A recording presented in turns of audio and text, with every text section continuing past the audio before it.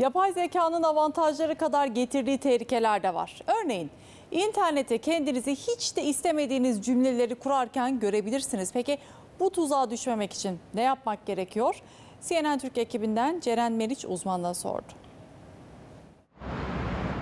korkutuyor. Sonuçta sesimizin nerede olacağı, e, hangi içeriklerde kullanacağını bilmiyoruz. Yapay zeka, ses klonlama teknolojisiyle de karşımızda.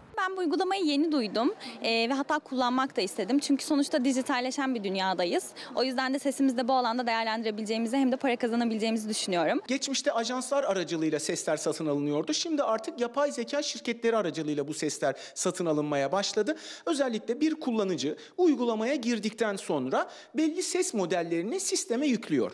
Daha sonra ses sat seçeneğini tıkladıktan sonra ses veri kütüphanesine yüklenmiş oluyor. Ses sanatçısı olsun ya da olmasın pek çok kişi artık seslerini yapay zeka şirketlerine satıyor ve kişilerin sesleri reklam, sosyal medya gibi pek çok alanda kullanılabiliyor. Ancak dikkatli olmakta fayda var çünkü sesiniz kötüye kullanılabilir ve başınız belaya girebilir. Az önce izlediğiniz yalnızca bir fotoğraf ve birkaç saniye sesle yapay zeka tarafından üretilen görüntü buna bir örnekti. Şimdi muhabirin gerçek anonsuyla yapay zekayı kıyaslayalım. Ses sanatçısı olsun ya da olmasın artık pek çok kişi seslerini yapay zeka şirketlerine satıyor ve kişilerin sesleri reklam, sosyal medya gibi pek çok alanda kullanılabiliyor. Ancak dikkatli olmakta fayda var çünkü sesiniz kötüye kullanılabilir ve başınız belaya girebilir. Buraya da bir cümle oluşturduk. Merhaba ben Ali Murat Kırık. Yapay zeka çok korkutucu dedik. Bakalım bu ses nasıl cevap verecek? Hemen bir bakalım, oynatalım. Merhaba, ben Ali Murat Kırık. Yapay zeka çok korkutucu.